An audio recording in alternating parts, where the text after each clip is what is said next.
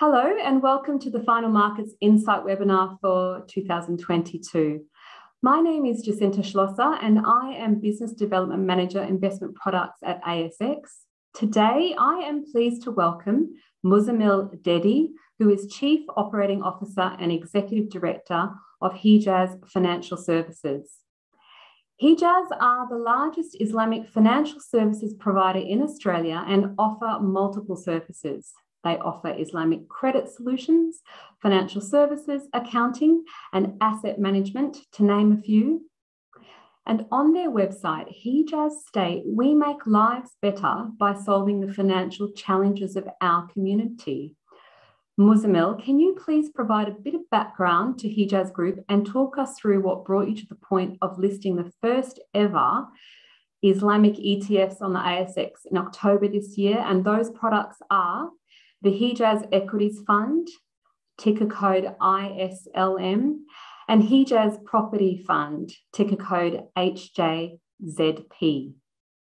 Well, first and foremost, thank you, Jacinta, for the opportunity and the ASX as well, and for that wonderful um, introduction.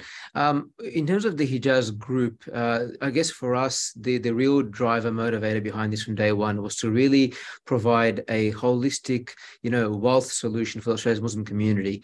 Um, up until very recently, the Muslim community have been disenfranchised and underserviced uh, in terms of their financial services needs and requirements, and therefore we've sought out to um, you know establish a comprehensive suite of solutions for them. Now that suite of solutions a big part of that is to provide an array of different um, islamic investment or islamic or sharia compliant investment solutions. And we have been able to establish funds that are both listed and unlisted. So we have a suite of products ranging from you know diversified multi-asset funds to equities property income funds and others like that. Uh, and we've also as you correctly mentioned We've had the pleasure of listing two of our funds, our equities fund and our property fund as well, in an industry first, uh, an achievement that we're very, very proud of. Fantastic. Look, when we met recently, we talked about how important Hejaz's products and services are for the Australian Muslim community. So I'd like you to elaborate more about what Sharia compliant investing is and why listing these funds is such an exciting step for Hejaz. And um, by the way, I've been following your LinkedIn feeds and I can attest to the excitement from the comments and the images that I've seen there. So tell us more. It definitely is very, very exciting. Now, at the end of the day, you know, when, when you're offering financial services uh, in, in any market, you really want your products to be accessible, available to as many people as possible. Um, and, and also for, for, for, for these products and services to, to, to address a genuine need. Now, within the Australian Muslim community, as I mentioned, there really haven't been any solutions or products to address their wealth management requirements. Obviously, this is a community that's rapidly growing. Um, you know, the the young to middle uh, middle age, you know, professionals and whatnot that are coming through this community um, are actively seeking solutions to manage their wealth, but they're not willing to compromise their ethics and their ethos and their faith and their beliefs. So therefore, we need to find that connection between faith and finance, um, and that's what we're all about delivering at Hejaz. Um, and this community, you know, it's it, it's it's made up of individuals like uh, you know like regular Australians throughout the Australian Muslim, Australian community.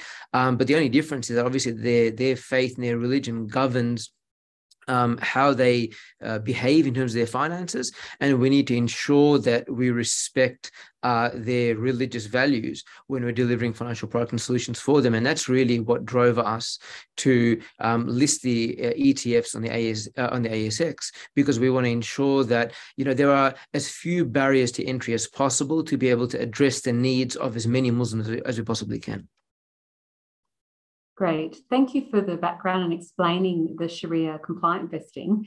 Let's now move to Hejaz's investment methodology. You co founded Hejaz with Hakan Ozyon. He's the CEO and Chief Investment Officer. So, how would you describe your investment style and methodology? Can you also talk us through the investment objectives of the two funds, the investment screening process, and how Hakan works with the investment team when picking stocks? Yep, absolutely. So Islamic investing is a um, is a form of ethical investing, but we would like to consider it to be ultra ethical, right? So ethical investments, you know, they might screen out a couple of different industries and sectors. Uh, Sharia compliant investing or Islamic investing uh, is far more comprehensive. So we're applying a negative filter across a, very very large investable universe uh, uh to determine what assets we can actually hold in our portfolio. So, for example, we are eliminating from our investable universe, uh, you know, industries and companies that operate in industries such as conventional banking and financial services, tobacco, alcohol, gambling, military and arms, um, adult entertainment. So essentially, those sorts of investments that are considered to be socially injurious and socially harmful, um, as well as un-Islamic. So when we apply that, that's our first filter that we apply, and then we go a step further and apply a series of financial filters um, that are mandated by Islamic requirements as well. So, for example, we consider the debt ratios of that company, tainted assets, um, uh, you know, all, all, the different types of different financial matrices that we apply to determine whether the investments are compliant with Islamic laws. Once we have identified those, then we apply our own um, financial criteria in determining whether the investments are actually worthwhile from an invest in, investability perspective to determine, okay, is the company profitable from a fundamental perspective uh, in, ter- in, in terms of its, you know, dividend yield, PE ratio, all those sorts of things that you know the everyday investment manager looks at. We also look at those to determine whether those investments are a high quality and worthwhile company to invest into and then we construct a portfolio. So usually if we look at the numbers for example you start off with an investable universe of let's say 55000 odd global equities and then when you apply all the islamic filters then you're left with about five and a half to six thousand and then you apply the financial criteria that we uh, that we have internally in determining you know what the investable portfolio should look like and you end up with a portfolio of roughly 40 to 60 companies and then from that we you know apply our technical analysis uh, rules and, and filters to determine entry and exit buy and sell points well. Hmm. so some sounds like somewhat um, uh, concentrated, a little bit concentrated, which is good for investors if that's what they're looking for. Now, before we wrap up, um, on that, I'd like to uh, take us now to a more detailed look at the funds. So we could start with some of the allocations by sector, the geographical exposures, some stocks within it, and then provide your current market views. Sure. So the uh, the Hejaz Equities Fund, which is the ticker ISLM, uh, that is a, a global equities fund. So we have, and we're primarily focusing on developed markets. We're not really going to developing markets as such, uh, because we want to ensure that we have, you know, a lot of transparency around the reporting that's received, as well as the liquidity of the investments as well. Um, so in, in that regard, we're we're highly concentrated in the Australian market as well as uh, the US and across Europe as well. So that's in terms of geographic location. Uh, in terms of the industry allocation, that really changes depending on where the economic cycle is and where, where what our outlook for the market looks like.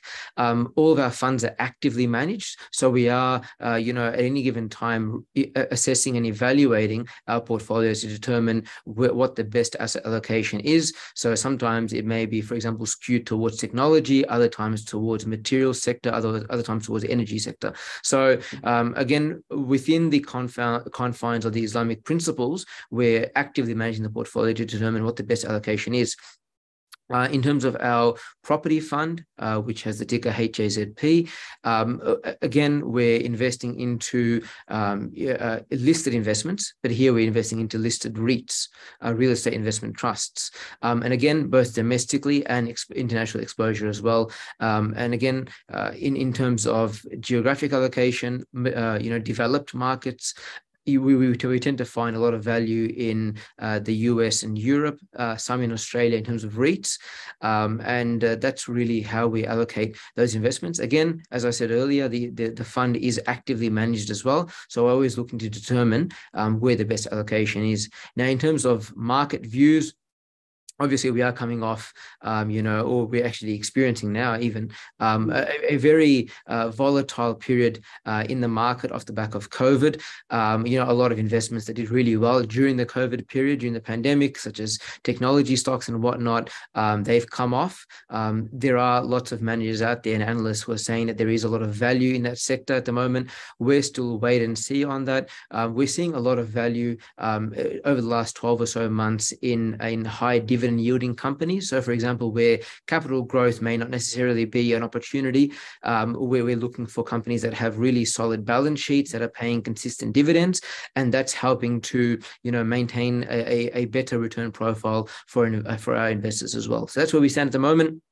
Um, you know, looking into the future um, as well. As I said, we are actively managed, so we are very nimble with our asset allocation uh, and looking to capitalize on opportunities as they come about. Thank you. Thank you so much for explaining that for our listeners and for taking the time to join us today, Muzzammil. We encourage our listeners to head to the Hejaz website. That's hejazfs.com.au. So that's F financial, S for services.com.au. There is excellent information on their website, especially the insights page. I uh, enjoyed reading many of the articles there. You can also follow Hejaz on all major socials. They are on LinkedIn, Facebook, Instagram, Twitter, and YouTube, so you can't miss them. And of course, you can head to the ASX website for daily share price and company information via ticker codes. I'll give those to you again ISLM and HJZP. Thank you. Thank you.